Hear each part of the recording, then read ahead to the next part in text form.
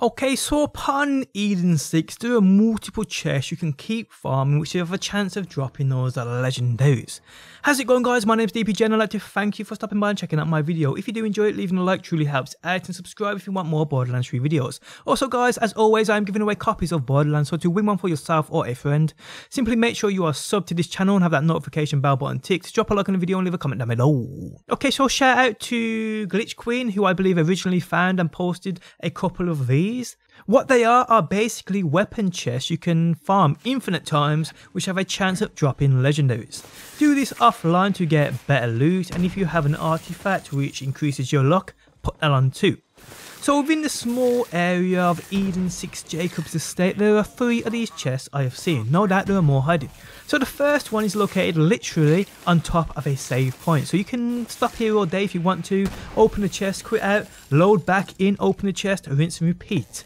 Or there are others you can use too, two right next to the loot tink, the famous loot tink farming spot. So that's probably the better one to go to, as you can farm and kill the loot tink at the same time as opening this chest every run. That chest is located under the bridge just before heading to that loot tink. Now there is also another one in this area, in the far corner over here.